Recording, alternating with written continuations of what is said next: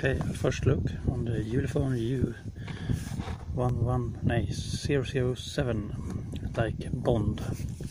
And here is the um, package, um, little cartoon with little info about the phone. 5 inch uh, screen, quad, quad core processor, um, 30 megapixel camera, 1 gig RAM, etc etc android 6.6 marshmallow and um, this is the gray version. And in the package there was also this uh, and that. And uh, nicely even this one. And this phone is uh, cost about $50 so you can't so you get a lot of, for the money.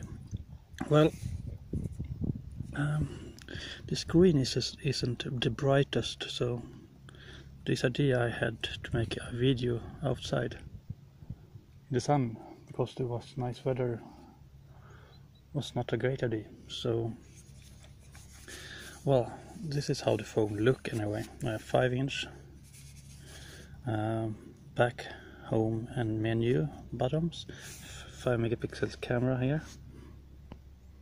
It's about focus and some sensor um, 40 megapixel camera here uh, single uh, light. Ulefone logo speaker and inside you have a um, two SIM cards um, and micro SD card with two up to 42 gig. Uh, the battery is built in um, micro USB and uh, headphone jacket, uh, volume rocket and power button. Uh, nothing special but feels good. Don't feel so cheap that I expected. But um, more videos when I come home.